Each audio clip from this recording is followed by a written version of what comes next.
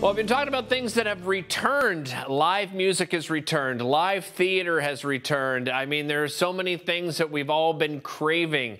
Well, guess what? Italian Week Ottawa will also be returning to in-person action. I am joined by Lydia Di Francesco, co-chair of the board of directors. Lydia, you and the team uh, and the entire Italian community, uh, you must be so excited to be coming back. Oh my gosh, we are thrilled. It's been two years where we were virtual. Uh, we did have some great programming. We had we had good turnouts, but I mean, everyone is just looking to be back in person again, and we're so happy that it's uh, working out. well, let's look at some. I mean, some of the you know you have some some free things that are going on, and of course some some very affordable things that are happening as well. Let's start off with the master classes because this is really an opportunity to learn from some experts about some Italian culture. What have you got lined up for master classes this time around? Yeah, we were able to get some really great presenters. I'm super excited. So we have three master classes. One is focused on Italian charcuterie. The other one is on Italian wines, and the last one is on uh, focaccia art. So the charcuterie class, we're bringing in a chef. He's award winning. He's from Vancouver. He owns a restaurant there. Okay. Uh, his name is Pino Posteraro, and he is coming to share with us all about charcuterie. And so we're going to learn the different types. So more than you know, just salami and uh, right. you know prosciutto right there's so yeah. much so many other different varieties of uh, cured meats and cheeses and he's going to talk through that uh, as well as the various differences between the regions in italy as well okay uh, so that'll be happening then we also have italian wine that one's being hosted by an award-winning sommelier called uh, Veronique Rivest. She's the owner of Soif Bar à Vin in Gatineau. Okay. And she's actually won uh, best sommelier of the Americas, and she's come wow. second place at the world's best sommelier competition. So she is going to be talking to us all about Italian wines. Again, focusing on different regions, different styles, different ways that they uh, deal with the grapes and process it and all that. And then lastly, I'm sure you've probably seen, well, you know, there was a big um, sourdough craze over the pandemic oh, yes. and a few other bread few other yeah. bread making crazes. uh, one of the things that that people were doing was making art out of focaccia. So you know, focaccia bread, it's got the indents. Yeah. And then people use vegetables to create these really pretty scenes.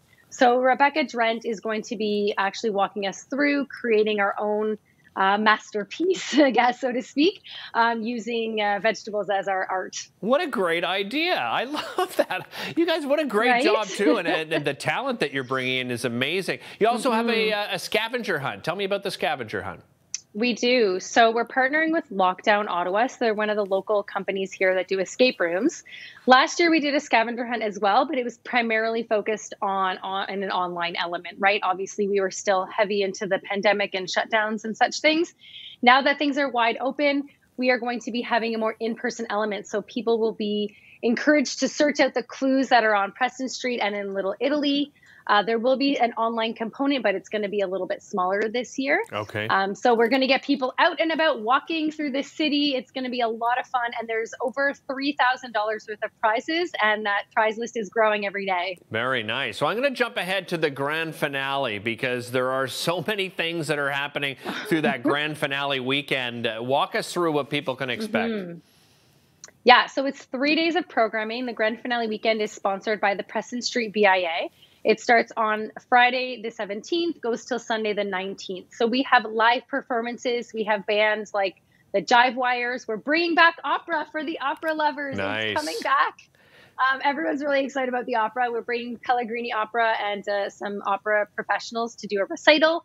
We've got some DJs. We have comedy acts. So lots of stuff happening on our main stage. We also have um, different uh, performances and street animation happening all along the street.